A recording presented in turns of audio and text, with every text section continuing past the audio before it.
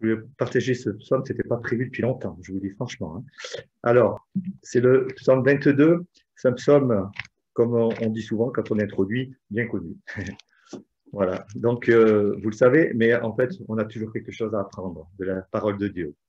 Alors, ce psaume, il commence par au chef de cœur, et puis j'ai rajouté aujourd'hui, parce que j'ai vu que sur Doodle, il y avait la famille chantre.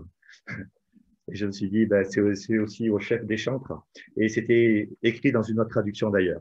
C'est aussi écrit dans d'autres traductions au chef de musique. Et puis, il y a cette petite phrase là qui n'est pas marquée en, français dans notre traduction, la traduction d'Arby, pardon, qui, et qu'on trouve dans d'autres traductions sur la biche de l'aurore. On pense que c'était un air d'un chant de l'époque. Et ce psaume, il est de David. Alors, David, il a écrit beaucoup de psaumes, 70, 73, je ne sais plus combien précisément. Et, euh, et, on le trouve dans, dans, le livre, je crois que c'est un Samuel, il est parlé de David qui, qui a ses chefs de cœur et qui, qui choisit finalement les meilleures personnes pour pouvoir entonner ses chants. Alors on pourrait dire, ce psaume, il est un peu long, mais c'est la parole de Dieu. Et euh, c'est un psaume qui, après, après le culte, nous, nous apporte toujours beaucoup. Et c'est un psaume de toute façon qui nous parle de notre Seigneur. Mon Dieu, mon Dieu, pourquoi m'as-tu abandonné? Et t'éloignes-tu sans me secourir, sans écouter mes plaintes? Mon Dieu, je crie le jour et tu ne réponds pas, la nuit et je n'ai point de repos. Pourtant, tu es le Saint, tu sièges au milieu des louanges d'Israël. En toi se confiaient nos pères, ils se confiaient et tu les délivrais. Ils criaient à toi, ils étaient sauvés. Ils se confiaient en toi et n'étaient point confus. Et moi, je suis un ver et non point un homme, l'opprobre des hommes, le méprisé du peuple. Tous ceux qui me voient se moquent de moi. Ils ouvrent la bouche, secouent la tête. Recommande-toi à l'Éternel. L'Éternel le sauvera et il le délivrera puisqu'il aime. Oui, tu m'as fait sortir du sein maternel. Tu m'as mis en sûreté sur les seins de ma mère. Dès le sein maternel, j'ai été sous ta garde. Dès le ventre de ma mère, tu as été mon Dieu. Ne t'éloigne pas de moi, car la détresse est proche, car personne ne vient à mon secours. De nombreux taureaux sont autour de moi, des taureaux de Bazan m'environnent. Ils ouvrent contre moi leur gueule, semblable au lion qui déchire et rugit. Je suis comme de l'eau qui s'écoule, et tous mes os se séparent. Mon cœur est comme de la cire, il se fond dans mes entrailles. Ma force dessèche comme l'argile, et ma langue s'attache à mon palais. Tu me réduis à la poussière de la mort, car des chiens m'environnent. Une bande de scélérats rôde autour de moi. Ils ont percé mes mains et mes pieds. Je pourrais compter tous mes os. Eux, ils observent, ils me regardent. Ils se partagent mes vêtements. Ils tirent au sort ma tunique. Et toi, Éternel, ne t'éloigne pas. Toi qui es ma force, viens en hâte à mon secours. Protège mon âme contre le glaive, ma vie contre le pouvoir des chiens. Sauve-moi de la gueule du lion. Tu m'as délivré d'entre les cornes des buffles. Je publierai ton nom parmi les frères. Je te célébrerai au milieu de l'assemblée. Vous qui craignez l'Éternel, louez-le. Vous tous, postérité de Jacob, glorifiez-le. Tremblez devant lui, vous tous, postérité d'Israël, car il n'a ni mépris ni dédain pour les peines du misérable, et il ne lui cache point sa face mais il écoute quand il crie à lui. De toi vient ma louange dans la grande assemblée. J'accomplirai mes vœux en présence de ceux qui te craignent. Les malheureux mangeront et se rassaisiront. Ceux qui cherchent l'Éternel le célébreront. Que votre cœur vive à toujours. Toutes les extrémités de la terre penseront à l'Éternel et se tourneront vers lui. Toutes les familles des nations se prosterneront devant ta face, car l'Éternel, à l'Éternel, appartient le règne. Il domine sur les nations. Tous les puissants de la terre mangeront et se prosterneront aussi. Devant lui s'inclineront tous ceux qui descendent dans la poussière. Ceux qui ne peuvent conserver leur vie, la postérité le servira. Ils viendront et raconteront sa justice à un peuple qui naîtra, qui naîtra, qu'il a fait ces choses. Voilà, un psaume, long, beaucoup plus long, hein, le psaume 119 est beaucoup plus long. Alors, c'est un psaume qui nous parle d'une souffrance, une souffrance qui est terrible. Et celui qui l'écrit, c'est David. On peut, souvent, on trouve dans les psaumes de David des circonstances qui sont liées à lui, et puis il parle aussi de quelque chose d'autre, on va le voir. David a souffert, il, a passé, il est passé par des moments difficiles, des moments d'abandon aussi, et David ici parle de sa souffrance. Est-ce qu'on peut... Qu'est-ce qui se passe, ça plus?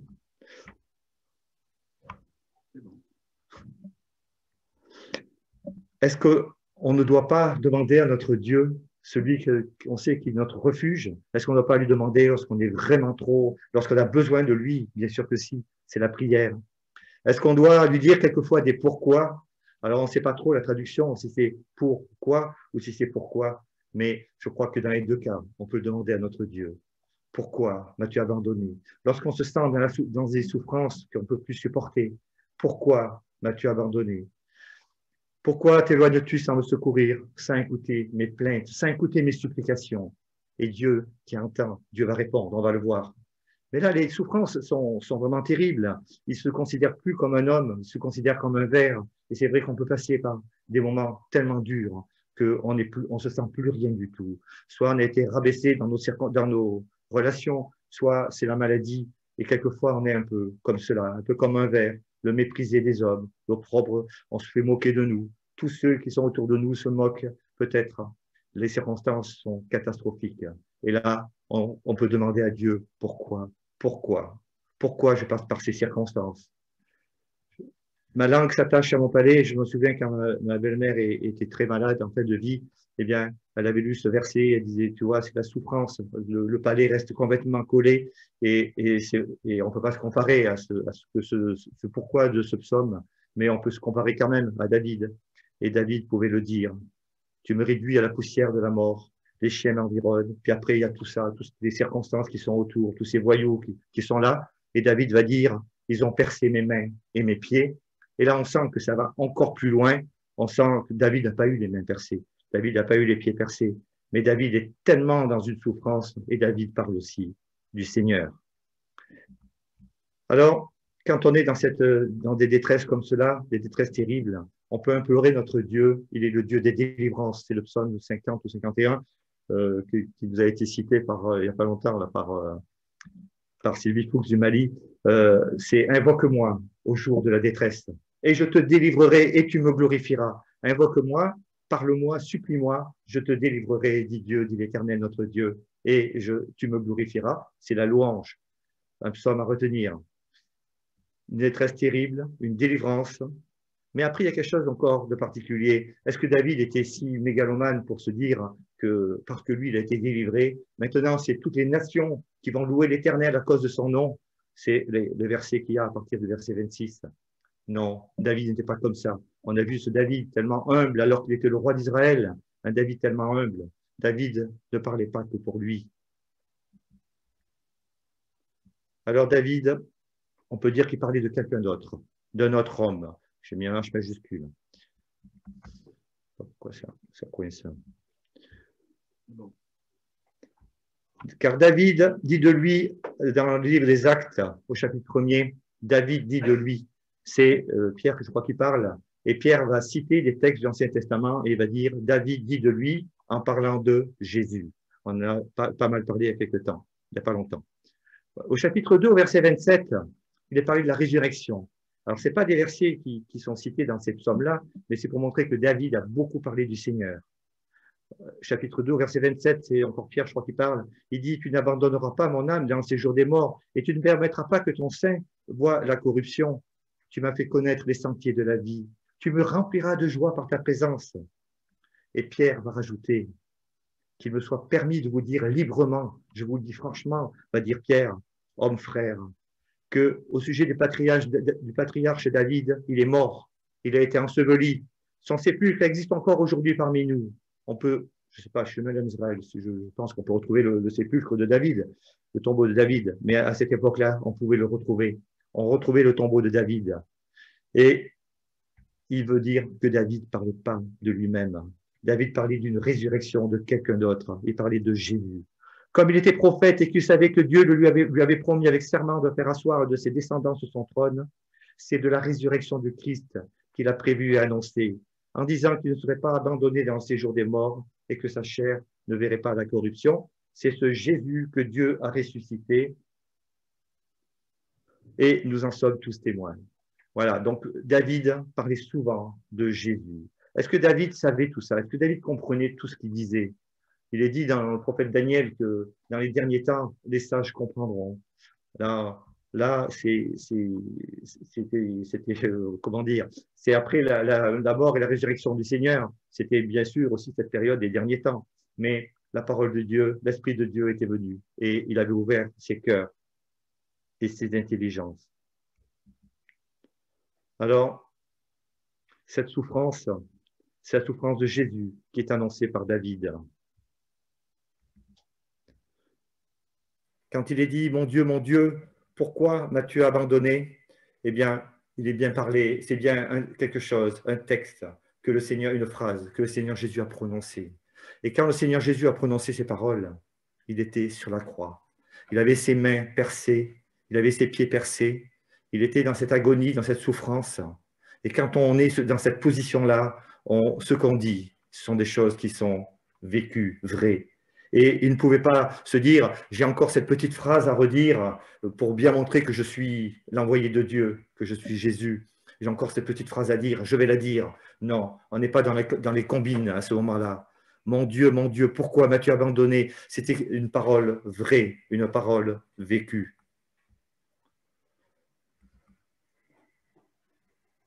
Et Jésus va prononcer, va prononcer ces mots, il va le dire euh, dans les, langues locales. Eli, Eli, lama sabachthani, le cri de la souffrance, ce mon Dieu, mon Dieu.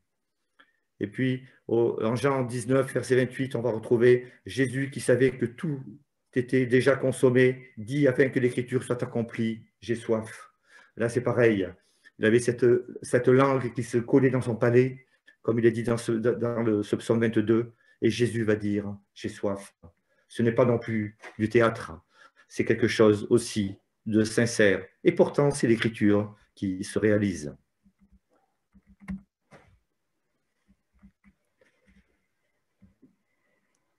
Jésus va accomplir les paroles de ce psaume.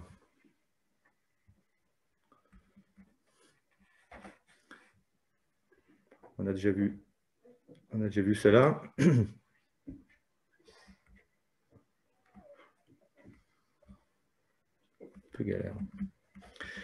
Ne t'étoigne pas, ne, pardon. On a vu déjà ces versets, ma langue s'attache à mon palais. Ils ont percé mes mains et mes pieds. On a vu que ce n'était pas David qui a vu ses mains et ses pieds percés. Et c'est la parole prophétique. C'est David qui parlait par l'Esprit de Dieu et qui disait, ils ont percé mes mains et mes pieds en parlant de Jésus. Je pourrais compter tous mes os. On sait qu'il n'a pas eu un os qui a été un os, un os du Seigneur qui a disparu, qui a été enlevé. Il voulait, les, soldats, les militaires, les soldats romains voulaient lui enlever une jambe parce que c'était la veille du sabbat. Et ça aurait été plus simple d'être sûr qu'il était bien mort. Donc, euh, il lui aurait ôté une jambe. Et non, ils n'ont pas fait pour lui parce qu'il était déjà mort. Il avait dit lui-même à son père, Père, je te remets mon esprit. Et il était parti et il était mort. Je souhaite, je pourrais compter tous mes os. Aucun de ces os n'a été enlevé. Là, le Seigneur Jésus ne pouvait pas, ne pouvait pas lui agir. Il était dans le tombeau, il était mort. Et c'est donc une parole prophétique encore de ce psaume 22 qui s'applique, qui se réalise. Ils se partagent mes vêtements. C'est un peu la même chose. Ils tirent au sort ma tunique. Il n'y avait pas de solution. Ce n'est pas le Seigneur qui pouvait leur faire faire ces choses. C'est eux qui l'ont fait. Et puis, après qu'il y ait eu cette délivrance, tu m'as délivré d'entre les cornes des buffles on sent qu'il y a ce, verset, à la fin de ce verset 22, les versets, c'est un peu différent suivant les traductions. Et là, on est dans une traduction où on est en avance d'un verset. Il, compte le premier verset dans le psaume. C'est pour ça le premier texte, psaume de David, etc. Il c'est compté comme un verset. Donc, c'est au verset 22 suivant les traductions. Tu m'as délivré. On sent qu'il y a eu un changement dans ce psaume. Et il y a eu cette réponse. Et alors après, on a cette louange. Je te célébrerai au milieu de l'assemblée. On sait que, on retrouve cela dans l'Épître aux Hébreux, je crois, que le Seigneur Jésus entonne la louange au milieu de ses frères. De toi vient, ma louange dans la, grande assemblée, au verset 25 ou 26. Toutes les familles des nations se prosterneront devant ta face. Toutes les familles. Hein. Aujourd'hui, c'est encore la réalisation de, ce psaume, de cette prophétie, toutes les familles, des familles réunies pour entonner la louange autour de notre Seigneur, pour le célébrer, celui qui a été l'abandonné de Dieu. Et puis, c'est à verset 29 ou 28, car à l'Éternel appartient le règne, il domine sur les nations. Tous les puissants de la terre mangeront et se prosterneront aussi devant lui, s'inclineront. Tous ceux qui descendent dans la poussière, ceux qui ne peuvent conserver leur vie, la postérité le servira. Euh, où est-ce que c'est écrit ça dans, dans Philippiens L'épître aux Philippiens, il est parlé de, de, ce, de ce temps où tout le, tout, le monde, dans le ciel, sur la terre, dans la, dans la terre, vont, pouvoir, vont, vont célébrer Dieu. Alors, ce ne sera pas tous pour la même raison, mais tous vont s'unir. C'est encore une prophétie qui n'est pas encore réalisée. Mais on peut dire quand même, nous ici, que c'est à l'Éternel qu'appartient le règne. Et nous étions encore heureux ce matin de nous incliner devant lui. Et puis, ce verset qui nous parle de louange, ce dernier verset, ils viendront et raconteront sa justice à un peuple qui naîtra qu'il a fait ces choses. Là, j'ai pris la traduction d'Arby, j'aime trop ce verset dans cette traduction. Est-ce que c'est parce que je le connais? Je ne sais pas. Mais ils viendront et raconteront sa justice à un peuple qui naîtra. On a aujourd'hui le, petit Émile et on est, on est content devant le petit, ce peuple qui vient de naître, de raconter ce que Jésus a fait, cette justice de Dieu, un Jésus sauveur. Il a fait ces choses. Il est allé jusqu'à la mort, à la mort de la croix. Voilà, c'est ce psaume nous parle de ce Dieu qu'on peut implorer, qu'on peut prier, qu'on doit prier. Et la parole de Dieu nous dit qu'on doit prier en, tout temps. Et c'est donc, euh, il y a donc des moments qui sont plus difficiles que d'autres. Et pendant ces moments, eh bien, on peut lui demander ce pourquoi, et Dieu répondra. C'est pas un manque de foi, c'est nos corps fragiles, et on a besoin de réconfort, et Dieu nous répondra c'est lui notre refuge. Et puis, ce psaume nous parle, nous parle de ce temps où Jésus devait mourir sur la croix, de ce temps où Jésus devait s'écrier, mon Dieu, mon Dieu, pourquoi? Le Seigneur savait le pourquoi. Le Seigneur Jésus est, venu sur cette terre pour, pour la croix. Mais c'était une épreuve tellement dure de porter le poids de nos péchés, cette souffrance de la croix. C'était tellement dur. Et alors, Maintenant, nous sommes là. Nous sommes là, ce peuple. Ce peuple qui a traversé, tous ces peuples qui ont traversé les âges depuis la, croix. Nous sommes là pour le célébrer, unis, des familles unies, avec tous les croyants de cette ville, tous les croyants sur la surface de la terre. Nous formons ce un, cette unité, cette grande famille unie. Et nous sommes là pour raconter, raconter au monde comme, comme on doit le faire, raconter ces grandes choses que Dieu a fait pour nous. Que Dieu bénisse sa parole. Amen.